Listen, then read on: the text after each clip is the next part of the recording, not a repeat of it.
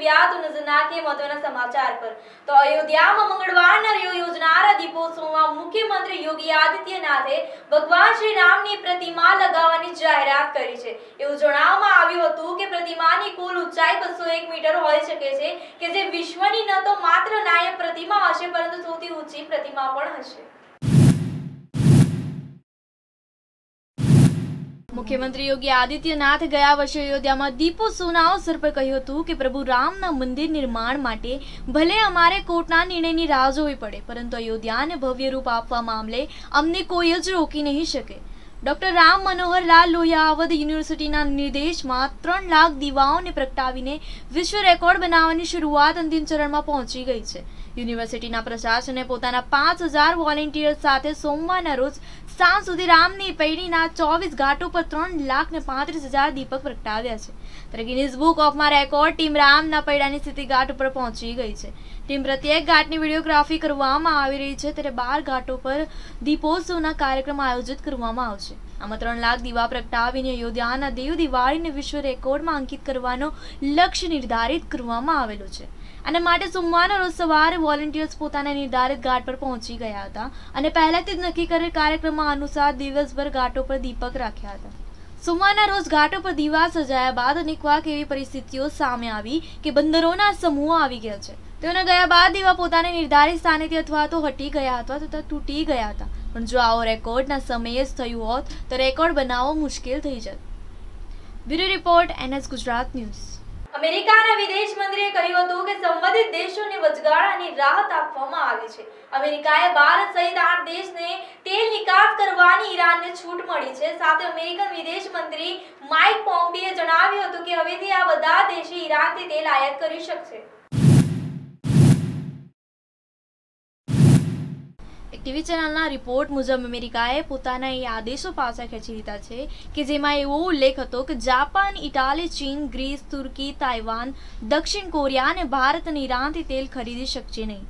ત્યારે પોમ્પિયોએ કહ્યું હતું કે સંબંધિત દેશોને અસ્થાયી રૂપે રાહત આપવામાં આવી છે. ઉલ્લેખનીય છે કે ઈરાન પર અમેરિકાએ પ્રતિબંધ લગાવ્યો હતો, જેના પછી આ દેશોએ તેલ ખરીદવામાં ભારે કાપ મૂકવામાં આવ્યો હતો. અમેરિકન વિદેશ મંત્રીએ પણ કહ્યું હતું કે ઈરાન ઉપર અમેરિકા વારંવાર દબાણ બનાવવાની કોશિશ કરતું રહે છે. અને યુરોપ, એશિયા અને અન્ય દેશોને જે ઈરાન તેલથી આયાત નથી કરી રહ્યા, તે રોકી રહ્યા છે. તેમના પર દંડ નક્કી કરવામાં આવી રહ્યો છે. ત્યારે વધુમાં પોમ્પિયોએ કહ્યું છે કે ઈરાન સરકાર વર્તનને બદલવા આ પ્રતિબંધિત લાભદાયક સાબિત થશે. આપને જણાવી દઈએ કે અમેરિકાએ ઈરાન ઉપર બેન્કિંગ અને પેટ્રોલ ક્ષેત્રમાં પ્રતિબંધ લાગુ કર્યો છે. મે બે હજાર પંદરમાં અમેરિકન રાષ્ટ્રપતિ ટ્રમ્પે અમેરિકાને પરમાણુ કરારથી અલગ કરી દીધું છે.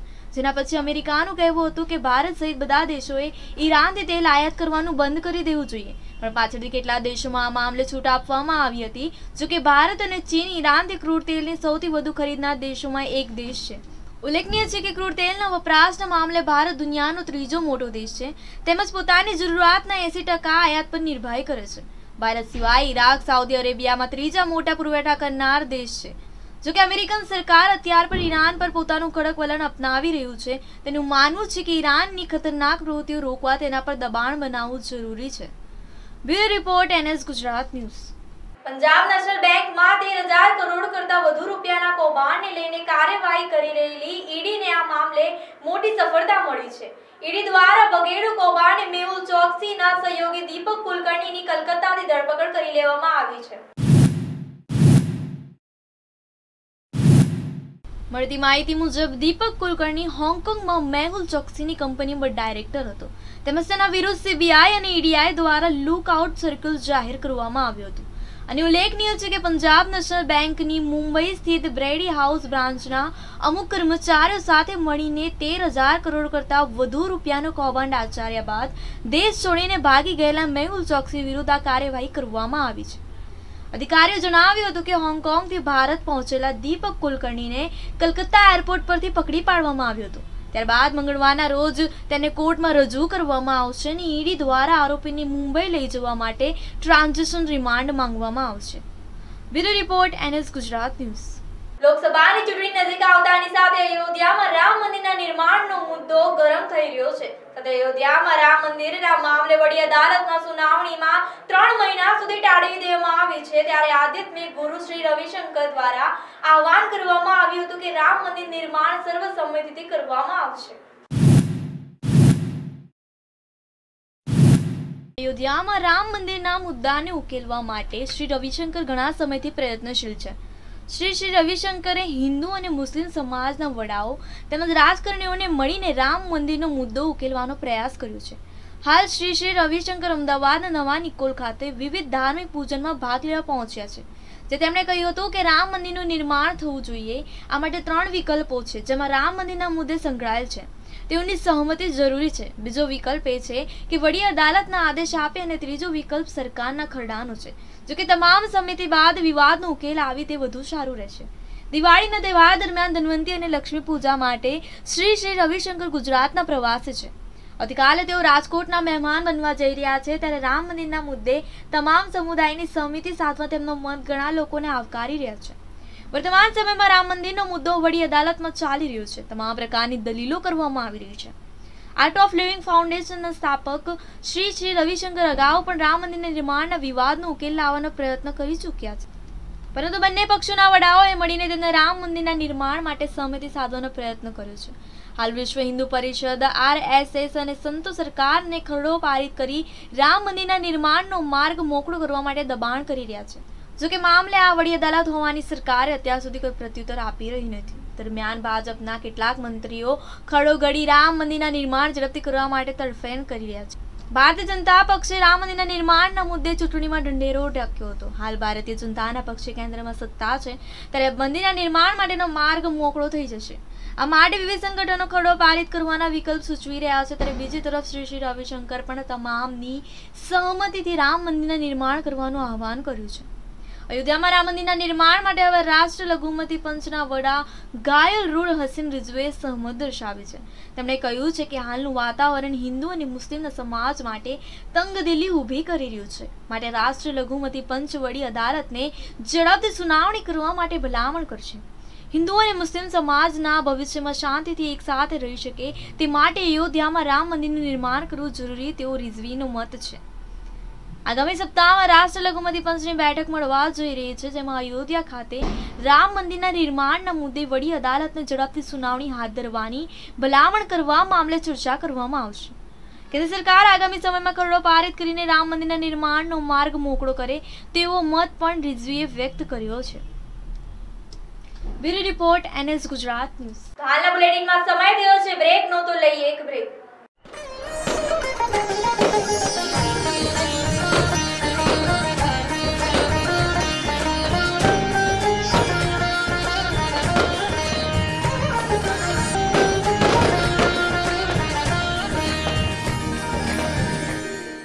Yadav managing trustee S M education trust की तरफ़ से सभी रईसों, विद्यार्थियों, बाली मित्रों एवं कर्मचारियों को इस दिवाली की हार्दिक शुभेच्छा देता हूँ। साथ साथ में एन एस ट्यूब न्यूज़ के संपादक श्री शर्मा जी को भी मैं दिवाली की, उनके साथ में रहने वाले सभी कर्मचारियों को दिवाली की शुभकामनाएँ देता हूँ।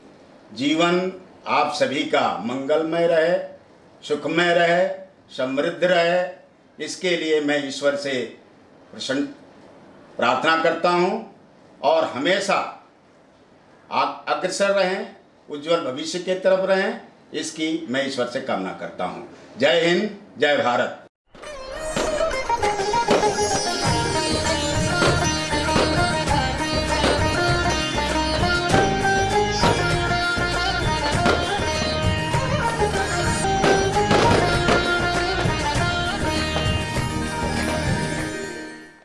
दीपावली और नवे वर्ष की सभी देशवासियों को ढेर सारी शुभकामनाएँ। आपका आने वाला नवा वर्ष सुखमय, संपन्न मन और ढेर सारी खुशियों के साथ बना रहे ऐसी सभी देशवासियों को खूब खूब शुभकामनाएँ।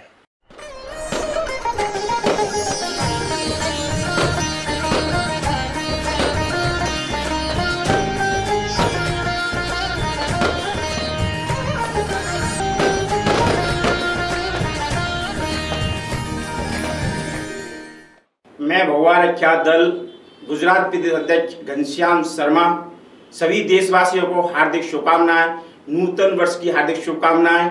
आने वाला नूतन वर्ष, नया वर्ष सभी देशवासियों के लिए उज्जवल भविष्य लाए और स्वास्थ्य, दौलत और सफलता से भरपूर हो। यह हमारी शुभकामना है। भगवान रक्षा दल, हिंदुत्व के लिए बना हुआ है। एक ज़रूर रिक्वेस्ट करेंगे हम सभी से, वो है राम मंदिर। जो राम की वजह से दीपावली को मना रहे हैं हम, उसी का मंदिर नहीं बन पा रहा है। इसलिए हिंदुत्व को जगाने के लिए एक बार बार विनती करता हूँ मैं कि इस मंदिर को बनाने के लिए ज़रूर जागृत रहे और भगवान रक्षा दल से जुड़े। जय सिया राम जय सिया राम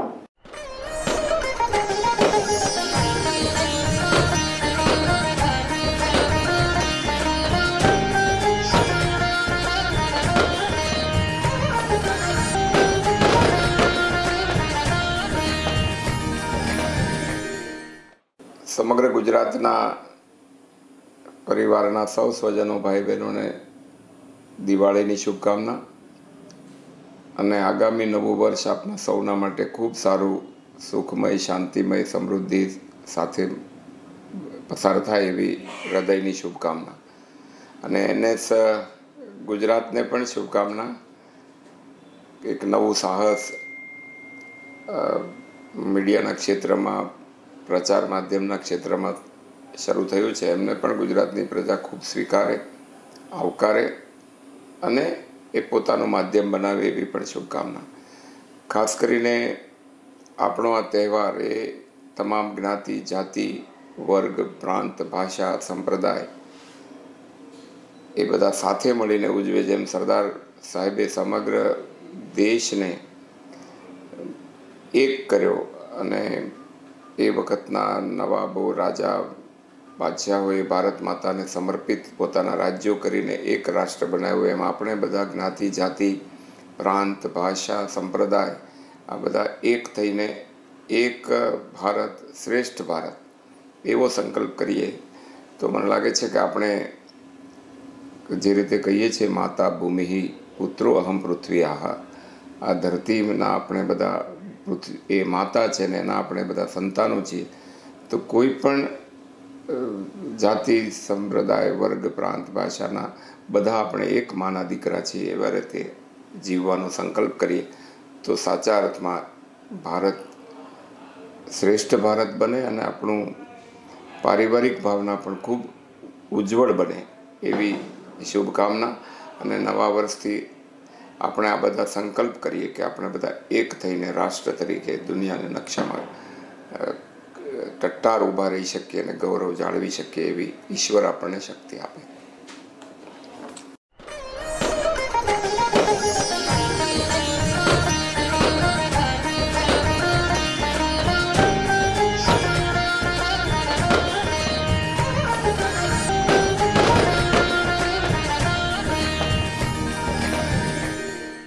मैं डॉक्टर हसमुख अग्रवाल, यहाँ साहिबाग में रेशम भाई हॉस्पिटल चलाता हूँ। इस दिवाली के अवसर पे मैं अपने गुजरात के, भारत के लोगों को दिवाली की खूब खूब शुभकामना देता हूँ। महालक्ष्मी से प्रार्थना करता हूँ कि पूरे देश में वासियों के ऊपर धन की वर्षा बनी रहे। उसके माध्यम से सब लोग सुखी, संपन्न हो और सबका स्वास्थ्य खूब बढ़िया रहे। ऐसे ही मैं दिवाली के अवसर पर पूरे देशवासियों को शुभकामना देता हूँ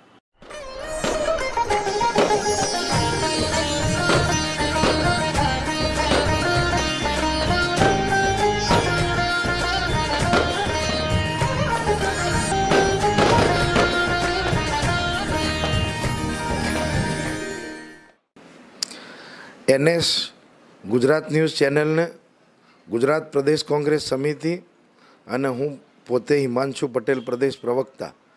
આપની આ લોક ચેનલ, પ્રજાલક્ષી ચેનલને હું સમગ્ર ગુજરાત પ્રદેશ કોંગ્રેસ સમિતિ વતીથી અને હું સમગ્ર ગુજરાતની જનતાને નૂતન વર્ષાના અભિનંદન અને આવનારું વર્ષ ખૂબ સારું જાય એવી સમગ્ર પાર્ટી વતીથી અમે પ્રાર્થના કરીએ છીએ અને આપનો જે પ્રેમ, આશીર્વાદ, મત સ્વરૂપી અને આંદોલન સ્વરૂપી બંને રીતે જે કોંગ્રેસ સાથે ગત વર્ષ મર્યો, એવો જ પ્રેમ અને ભાવ અમારા તરફી રહે એવું અમે આપના, અમારી, આપણી પોતાની, આ ગુજરાતની અને ગુજરાતના પ્રશ્નોને વાચા આપતી ચેનલ વતીથી અમે આપ સર્વને ફરીથી નૂતન વર્ષે અભિનંદન પાઠવીએ છીએ.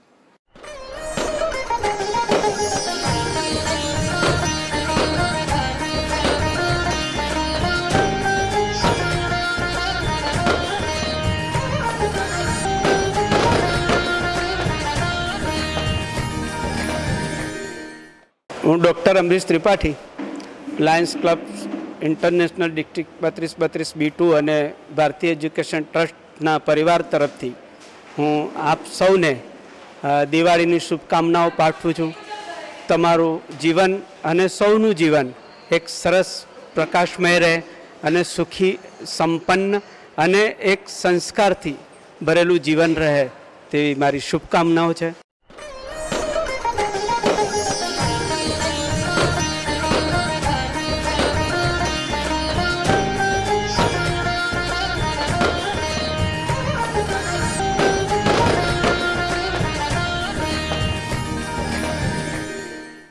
હું અરવિંદ ચૌહાણ, ગુજરાત પ્રદેશ કોંગ્રેસમાં મંત્રી છું. દિવાળીની શુભકામના અને નવા વર્ષને પ્રજાને મારા પરિવાર ઓળથી અને મારા તરફથી ભગવાન નવા વર્ષમાં ખૂબ સુખ, શાંતિ, સમૃદ્ધિ આપે એવી ભગવાનને પ્રાર્થના કરું છું. સાથે સાથે નવા વર્ષમાં ગુજરાતની અને હિન્દુસ્તાનને માતાનો આશીર્વાદ રહે અને ખૂબ લોકોને રોજગારી મળે, શાંતિ મળે એવી મારી પ્રાર્થના છે.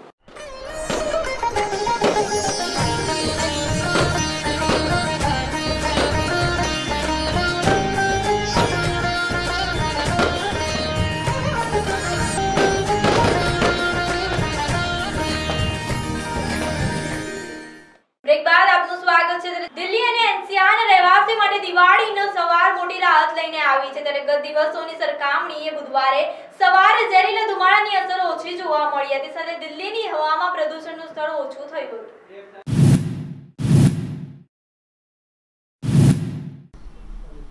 દિલ્હી અને એનસીઆરના રહેવાસીઓ માટે દિવાળીની સવાર મોટી રાહત લઈને આવે છે. ગત દિવસોની સરખામણીએ બુધવારે સવારે ઝેરીલા ધુમાડાની અસર ઓછી જોવા મળી હતી. દિલ્હીની હવામાં પ્રદૂષણનું સ્તર થોડું ઓછું થયું છે, તો હવાની ગુણવત્તા બહુ જ ખરાબથી ખરાબના સ્તર પર પહોંચ્યું છે. પ્રાપ્ત માહિતી અનુસાર, દિલ્હીની હવાની ગુણવત્તાનું પ્રમાણ બસો ઇઠ્યોતેર હતું, જે ખરાબની શ્રેણીમાં આવે છે. સવારે આનંદના વિહારમાં હવાની ગુણવત્તા ત્રણસો ને પંદરના સ્તર પર આવી પહોંચી હતી, જ્યારે કે મથુરા રોડ પર ત્રણસો આઠ, પૂસા રોડ પર બસો નેવું અને નોઈડામાં બસો પંચોતેર અને ફરીદાબાદમાં બસો છાસઠ અને ગુરુગ્રામમાં બસો ને છત્રીસ નોંધાયું હતું. પરંતુ રાહત એટલી પણ સારી નથી, કેમ કે આજે દિવાળી છે અને આગામી દિવસોમાં પ્રદૂષણનું સ્તર ખતરનાક સ્તર પર પહોંચી શકે છે. દિલ્હીના હવાની ગુણવત્તામાં બહુ જ ખરાબની શ્રેણીમાં નોંધાઈ હતી. અધિકારીએ જાણકારી આપ્યું હતું કે દિવાળી પર ગત વર્ષે સરખામણીમાં ઓછા પ્રદૂષણવાળા ફટાકડા ફોડ્યા છતાં પણ પ્રદૂષણનું સ્તર વધી શકે છે. કેન્દ્રીય પ્રદૂષણ નિયંત્રણના બોર્ડના આંકડા અનુસાર સમગ્ર હવા ગુણવત્તાના માપદંડને ત્રણસો વીસના સ્તર પર નોંધાયું છે, જે બહુ ખરાબની કેટેગરીમાં આવે છે. દિલ્હીની હવાની ગુણવત્તાને ધ્યાનમાં રાખતા પ્રદૂષણ પર નજર રાખતી સંસ્થા સીપીસીબીએ આઠથી દસ નવેમ્બર સુધી શહેરમાં ટ્રકોના પ્રવેશ પર પ્રતિબંધ લગાવવાની ભલામણ કરી છે. દિલ્હીના પર્યાવરણ મંત્રી ઇમરાન હુસેને લોકોને ફટાકડા રહિત દિવાળી ઉજવવાની અપીલ કરતા પ્રદૂષણ ઓછું કરવાનું સૂચવ્યું હતું. તમને જણાવી દઈએ કે મંગળવારે પર્યાવરણ મંત્રાલયના બહાર લોકોએ પ્રદૂષણના ખતરનાક રીતે વધતા સ્તરના વિરોધમાં પ્રદર્શન કર્યું હતું. પ્રદર્શનકારીઓએ કેન્દ્રીય પર્યાવરણ મંત્રાલય અને દિલ્હી સરકારના સિનિયર અધિકારીઓને એક પત્ર સોંપીને શ્વાસ લેવાના અધિકારની માંગ કરી હતી. આ સાથે જ તેમણે રાજધાની દિલ્હીમાં સ્વચ્છ હવા કાર્યક્રમને જલ્દી કાર્યરત કરવાની માંગ કરી હતી. સીપીસીબીના એક વરિષ્ઠ અધિકારીએ કહ્યું કે દિવાળી બાદ કૃત્રિમ વરસાદ કરવા માટે આઈટીઆઈના કાનપુર અને ભારતીય મોસમ વિભાગ સાથે વાતચીત ચાલી રહી છે. દિવાળી બાદ પ્રદૂષણના ગંભીરથી વધુ આપતકાલીન કેટેગરીમાં પહોંચે તેવી શક્યતા છે. ઉલ્લેખનીય છે કે ક્લાઉડિંગ સીડિંગ એક એવી પ્રોસેસ છે જેમાં સિલ્વર આયોડાઇડ, ડ્રાય બરફ અને મીઠું સહિતના વિવિધ રાસાયણિક તત્વોનો ઉપયોગ કરીને વાદળોને ઘટાદાર બનાવવામાં આવે છે, જેને કારણે વરસાદ કે બરફ વર્ષાની શક્યતા વધી જાય છે. Bureau report NS Gujarat news. વિકાસના નામે મત મેળવીને પંચાયતથી પાર્લામેન્ટ સુધી સત્તા ધરાવતી ભાજપ સરકાર પાસેથી વિકાસની અપેક્ષા હતી. ત્યારે મોંઘવારી ઘટવાની અપેક્ષા હતી, તેને બદલે પ્રતિમા અને નામ બદલવાનો દારો ચાલુ થઈ ગયો છે. સાથે ગુજરાતનો સ્ટેચ્યુ ઓફ યુનિટી પછી ઉત્તર પ્રદેશમાં ભગવાન શ્રી રામની એકસો એકાવન ફૂટની પ્રતિમા તૈયાર કરવાનો ઈરાદો વ્યક્ત કરી ચૂકેલા ઉત્તર પ્રદેશના મુખ્યમંત્રી યોગી આદિત્યનાથ એક પછી એક જૂના નામો બદલતા જાય છે. ત્યારે મંગળવારે તેમણે ફૈઝાબાદ જિલ્લાનું નામ બદલીને અયોધ્યા કર્યું છે. વિકાસના નામે મત મેળવીને પંચાયતથી પાર્લામેન્ટ સુધી સત્તા ધરાવતી ભાજપની સરકાર પાસેથી વિકાસની અપેક્ષા હતી. મોંઘવારી ઘટવાની અપેક્ષા હતી, તેના બદલે પ્રતિમાને નામ બદલવાનો દોર ચાલુ થયો છે. ત્યારે ગુજરાતના સ્ટેચ્યુ ઓફ યુનિટી પછી ઉત્તર પ્રદેશમાં ભગવાન શ્રી રામની એકસો એકાવન ફૂટની પ્રતિમા તૈયાર કરવાનો ઈરાદો વ્યક્ત કરી ચૂકેલા ઉત્તર પ્રદેશના મુખ્યમંત્રી યોગી આદિત્યનાથ એક પછી એક જૂના નામો બદલતા જાય છે. મંગળવારે તેમણે ફૈઝાબાદ જિલ્લાનું નામ બદલીને યોધ્યા કર્યું છે. એ પહેલાં તેઓ મુગલ સરાય ગુડગાંવ અને અલ્હાબાદના નામ બદલીને અનુક્રમે દીનદયાળ નગર, ગુરુગ્રામ અને પ્રયાગ કરી ચૂક્યા છે. શહેરના નામ બદલવા એ ભાજપની જૂની લાગણી અને માંગણી રહી છે. તે ગુજરાત ભાજપનું ગઢગણાય છે, પરંતુ એંશીના દાયકામાં ગુજરાતમાં ક્યાંક ભાજપ માટે પગ મૂકવાની જગા ન હતી. ત્યારે સૌપ્રથમ અમદાવાદની જનતાએ કોર્પોરેશનની સત્તા ભાજપને સોંપી હતી. એ વખતે ભાજપ અને વિશ્વ હિન્દુ પરિષદ સહિતના સંસ્થાઓએ અમદાવાદનું નામ બદલીને કર્ણાવતી કરવાની માંગ કરી હતી. પરંતુ રાજ્ય અને કેન્દ્રમાં એ સમયે કોંગ્રેસની સરકાર હોવાથી નામ બદલવાનું શક્ય ન રહ્યું. આથી ભાજપે પછી ચૂંટણીઓમાં એવો દાવો કર્યો હતો કે જનતા પોતાની રાજ્યમાં સત્તા સોંપે તો નામ બદલવાનું શક્ય બને. હવે તો ગુજરાતની બહુદા ગ્રામ પંચાયતથી માંડીને બાવીસ રાજ્યો સહિત કેન્દ્રમાં ભાજપની અડીખમ સરકાર છે. તો પછી અમદાવાદનું કર્ણાવતી કરવામાં કેમ આવતું નથી? શું એ જે વખતે ભાજપ માટે ફક્ત સત્તા મેળવવા માટેનો એક જુલમ જ હતો? તો એ આંદોલન વખતે ભાવાત્મક જુવાળમાં આવીને હિંસાનો ભોગ બનેલાનું શું? ભાજપના વચનો પર વિશ્વાસ મૂકીને ખોબલે ખોબલે મત આપનારો છેતરાય ન ગણાય. અમદાવાદનું નામ બદલીને કર્ણાવતી કરવાની માંગની સાથે એંશીના ઉત્તરાર્ધમાં થયેલા આંદોલનમાં વિશ્વ હિન્દુ પરિષદની પણ મહત્વની ભૂમિકા હતી. આજે વિહપ કેમ આ મુદ્દે ચૂપ છે? આ અંગે આંતરરાષ્ટ્રીય હિન્દુ પરિષદના રણછોડ રબારીએ કહ્યું કે રામ મંદિરની માફક આ મુદ્દો પણ અમારા એજન્ડામાં સામેલ છે. ઉત્તર પ્રદેશમાં યોગી આદિત્યનાથે હિંમત દાખવીને નામ બદલવા માંડ્યા છે. ત્યારે ગુજરાત સરકારે પણ તેમાંથી શીખ લેવી જોઈએ અને હિંમત દાખવવી જોઈએ. કર્ણાવતીના નામકરણ અંગે તેમણે ઉમેર્યું હતું કે રામ મંદિરની માફકા અંગે પણ હિન્દુ પરિષદ બહુ ઝડપથી શ્રેણીબદ્ધ કાર્યક્રમો અને આંદોલનની જાહેરાત કરી શકે છે. એકલું અમદાવાદ શા માટે? અમે તો ગુજરાતના બીજા શહેરોએ પ્રાચીન નામો ધરાવે છે, જે આજે વિસરાઈ ગયા છે. યા તો અભ્રંશ થઈ ચૂક્યા છે. આજનું ખંભાત ખરેખર તો સ્તંભ તીર્થ છે. વડોદરાનું નામ વટપદ્ર હતું. ડાકોર દર્ભતીર્થ અને દ્વારકા દ્વારકામતી હતું. જો ભાજપે ખરેખર હિન્દુત્વનું જ કાર્ડ ખેલવું હોય, તો આ શહેરોના નામ બદલવાનું મેદાન બહુ આસાનીથી મળી શકે તેમ છે. હવે પાયાનો સવાલ એ છે કે શું આ રીતે નામ બદલી નાખવાથી સમસ્યાઓ ઘટી જવાની છે? ગુડગાંવ હવે ગુરુગ્રામ બની ગયું એટલે ત્યાં ટ્રાફિક જામની મહા સમસ્યા હળવી થઈ જશે. ફૈઝાબાદનું અયોધ્યા કરી નાખવાથી ભારે ઊંચા ક્રાઇમ રેટ માટે બદનામે જિલ્લામાં ગુનાખોરી ઘટી જશે. અમદાવાદનું કર્ણાવતી શહેર કરવાથી માખણના પીણાની જેમ ટ્રાફિક સડસડાટ દોડતો થઈ જશે. કે પછી ચૂંટણીઓ આવે એટલે લોકોમાં ભાવાત્મક જુવાડ જગાવીને મતોની રોકડી કરવાનો ખેલ ચાલતો જ રહેશે. Bureau report NS Gujarat news. State ડિપાર્ટમેન્ટે જણાવ્યું હતું કે યુનાઇટેડ સ્ટેટ અને ચાઇના અગાઉ ઓક્ટોબર મહિનામાં રાજદ્વારી સંરક્ષણ સંવાદ માટે બેઠક યોજી હતી, જે હવે શુક્રવારના રોજ વોશિંગ્ટનમાં યોજવામાં આવવાની છે.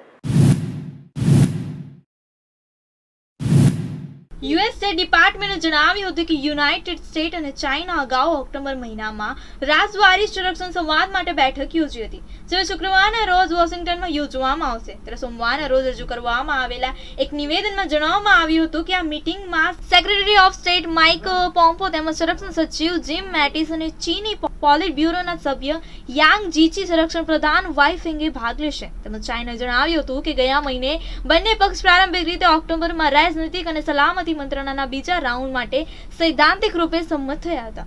પરંતુ તેઓએ તાઇવાન અને દક્ષિણ સમુદ્ર પર વધતા જતા વેપારના તણાવના વચ્ચે વોશિંગ્ટનની માનને મોફ રાખવામાં આવી હતી.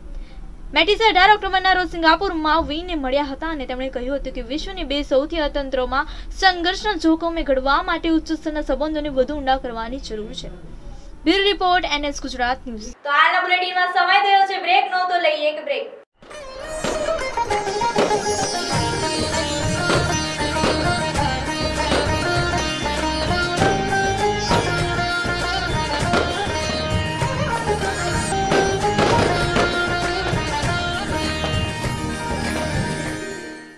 मैं Jignesh R Maurya, bright English school CTM की तरफ़ से आप सभी को दीपावली एवं नूतन वर्षा अभिनंदन एवं भाई बहनों के पावन पर्व ऐसे भाई दूज की आप सभी को ढेरों सारी शुभकामनाएं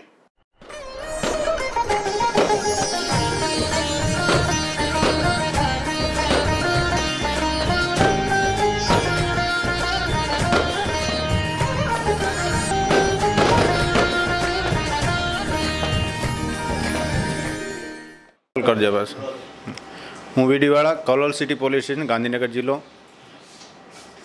આવનારી દિવાળી અને નવું વર્ષ બધા મિત્રો માટે લાભદાયી, શુભ નીવડે એવી શુભકામના પાઠવું છું.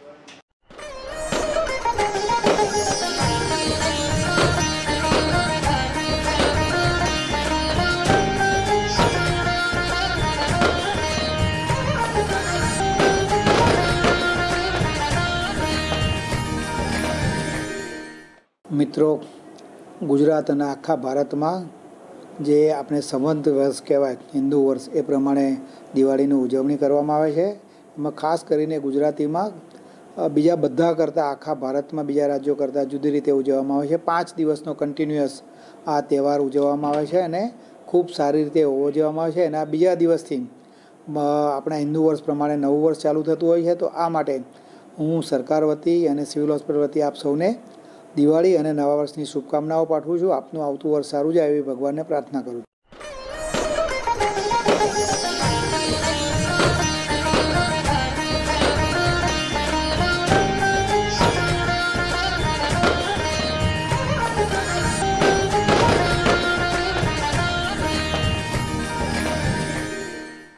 मैं महेश सिंह कुशवाहा उत्तर भारतीय विकास परिषद कोर कमेटी अ, प्रदेश अध्यक्ष क्षत्रिय विकास परिषद उपाध्यक्ष अखिल भारतीय हिंदी भाषी उत्थान संघ कोषाध्यक्ष, आप सभी को दीपावली के पर्व पर खूब खूब शुभकामनाएँ देता हूँ। आपका नए, आने वाले नए साल में आपका जीवन खूब सुखमय और शांतिमय गुजरे, ऐसी ईश्वर से प्रार्थना करता हूँ।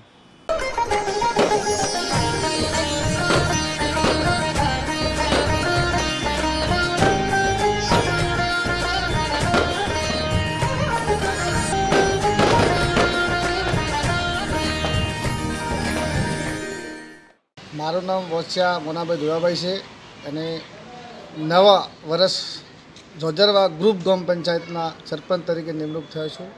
અને નવા વર્ષની દેશવાસીઓને મારી શુભેચ્છા છે અને મારા ગામજનોને બધાને અરજ છે કે બાળકો નિશાળે નિયમિત ભણવા મૂકે અને દેશને આગળ વધારે, બાળકો વેશથી ભણે ભણે અને આગળ વધે. અને એ જ મારી શુભેચ્છા છે અને ગામજનોને પણ શુભેચ્છા છે.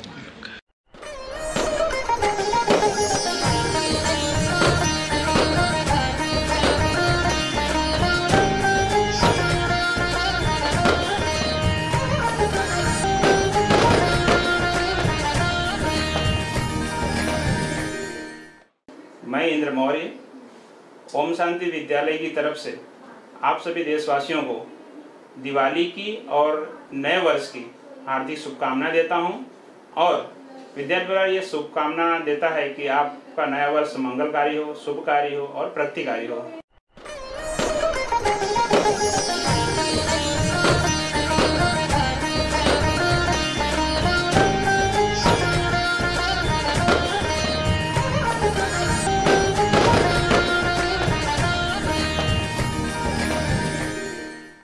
હું જગદીશ ઠાકોર, પૂર્વ સાંસદ પાટણ, એનએસ ગુજરાત ન્યૂઝના દર્શકો અને સમગ્ર ગુજરાતને દેશની પ્રજાને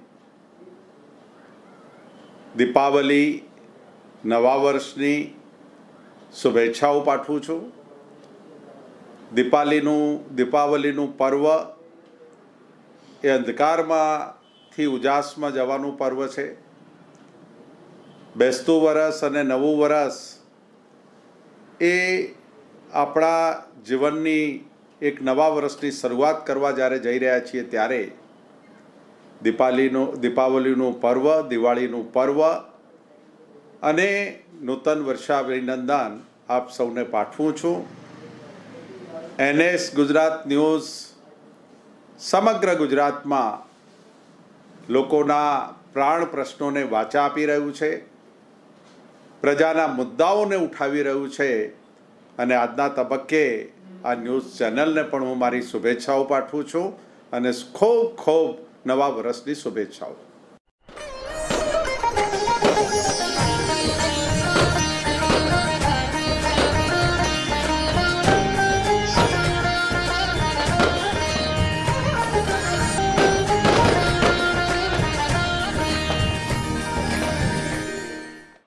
હું જલ્પિન ભીમાણી, એમ એન વિદ્યાલય શાળા પરિવાર તરફથી આપ સૌને દિવાળી અને નવા વર્ષની શુભેચ્છા પાઠવું છું અને આ સાથે તમારું નવું વર્ષ ખૂબ જ સુખદમય રહે અને સમૃદ્ધિમય બની રહે એવી શુભેચ્છા અને દિલથી પ્રાર્થના.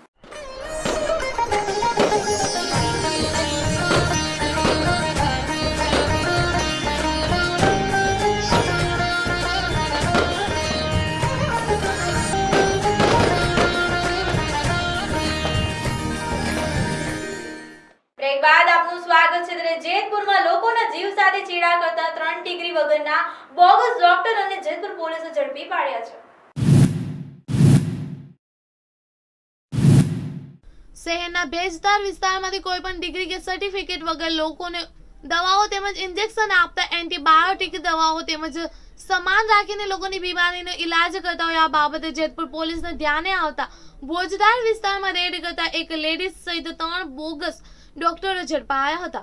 ફારૂક મોદન સાથે એનએસ ગુજરાત ન્યૂઝ જેતપુર. ગુજરાતના દર્શકોના હૃદયમાં ચાર ચાર બંગડી વાળી ગીતથી વિશેષ સ્થાન પ્રાપ્ત કરનાર કિંજલ દવે હવે અત્યંત સંવેદનશીલ અને લાગણીશીલ ફિલ્મ દાદા હોક દીકરી દ્વારા સ્ક્રીન પર આવી રહી છે. સાથે એસકેઆર ઇન્ટરનેશનલ પ્રસ્તુતિમાં સોનમ પરમાર દ્વારા પ્રોડ્યુસ કરાયેલી આ ફિલ્મ નવ નવેમ્બરના રોજ રિલીઝ થવાની છે. ગુજરાતી દર્શકોને હૃદયમાં ચાર ચાર બંગડી વાળી ગાડી ગીતથી વિશેષ સ્થાન હાથના કિંજલ દવે. હવે અત્યંત સંવેદનશીલ અને લાગણીભર ફિલ્મ દાદી હો દીકરી દ્વારા સિલ્વર સ્ક્રીન ઉપર આવી રહી છે. એસકેઆર ઇન્ટરનેશનલની પ્રસ્તુતિ સોનમ પરમાર દ્વારા પ્રોડ્યુસર કરાયેલી આ ફિલ્મ નવ નવેમ્બર રોજ રાજમનસ મલ્ટીપ્લેક્સમાં રિલીઝ થવા માટે સજ્જ છે. ફિલ્મ અંગે વાત કરતા પ્રોડ્યુસર સોનમ પરમારે જણાવ્યું હતું કે મહિલા સશક્તિકરણનો મજબૂત સંદેશો આપતી દાદા હો દીકરી માં કિંજલ દવે કામ કરતા અત્યંત ઉત્સાહ અનુભવી રહી છે. ગુજરાતમાં અપાર લોકપ્રિય ધરાવતી પોતાની પ્રથમ ફિલ્મ ખૂબ જ સારો અભિનય કર્યો છે. આ ફિલ્મમાં કિંજલ દવે લાગણી સબંધ દ્રશ્યોથી સાથે સાથે એક પણ દ્રશ્યોને પણ સુંદર રીતે નિભાવ્યા છે. ઉલ્લેખનીય છે કે સોનમ પરમાર પોતે જાણીતા અભિનેત્રી અને ગાયક છે અને દાદા હો દીકરી પહેલા તેમણે અન્ય ત્રણ પ્રોડ્યુસર કરીને ગુજરાતમાં નાની ઉંમરના પ્રોડ્યુસરનું સ્થાન કર્યું છે. આ ફિલ્મ સામાજિક અને આર્થિક મુદ્દાઓને સુંદર રીતે પ્રસ્તુત કરે છે. તેમજ તેમાં દાદા પોતરી વચ્ચેનો સંબંધ સંબંધોને દર્શાવ્યા છે. ફિલ્મના મોટા ભાગના હિસ્સાનું શૂટિંગ અમદાવાદના ગાંધીનગરમાં કરવામાં આવ્યું છે. તથા માત્ર દોઢ વર્ષના સમયગાળામાં ફિલ્મ તૈયાર થઈ ગઈ હતી. કિંજલ દવેને સાથે સાથે મનુભાઈ રબારી પણ ફિલ્મમાં અભિનય કરતા જોવા મળશે. કિંજલ દવે તમામ ગીતોની કિંજલ દવે સ્વર આપ્યો છે. દાદા હો દીકરી અંગે વાત કરતા કિંજલ દવે જણાવ્યું હતું કે આ ફિલ્મ કરવા અંગે તેઓ ઉત્સાહિત હતી અને હવે આતુરતાપૂર્વક રિલીઝની રાહ જોઈ રહી છે. મહિલા કેન્દ્ર ફિલ્મમાં હંમેશાથી મારું સપનું રહ્યું છે. અને તેનાથી અમે મહિલાઓને મજબૂત સંદેશો પણ પાઠવ્યો હતો. દિવાળીમાં રિલીઝ થતી અમારી ફિલ્મને ગુજરાતના દર્શકો તરફથી ખૂબ જ સારો સાંભળશે તેવો અમને વિશ્વાસ છે. ફિલ્મની દાતા અને દીક્ષણ અજીજ ખાને કહ્યું હતું કે ફિલ્મનું સંગીત મયુર નાડિયાએ ગીતો મનભાઈ રબારીએ લખ્યા છે. Story, screen play, Ashok Upadhyay અને દીપેનભાઈ ફિલ્મના ક્રો પ્રોડ્યુસર દીપક ખજનાજી અને રાજકુમાર જાની છે. Bureau report NS Gujarat news. તો હાલના બુલેટિનમાં બસ આટલું જ. વધુ માહિતી અને સમાચાર માટે જોતા રહો. NS Gujarat news. નમસ્કાર.